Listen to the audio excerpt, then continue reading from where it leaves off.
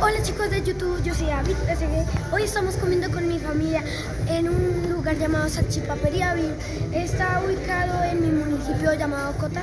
Aquí toca probarlo, a ver si es, está recomendado como dijeron mis papás.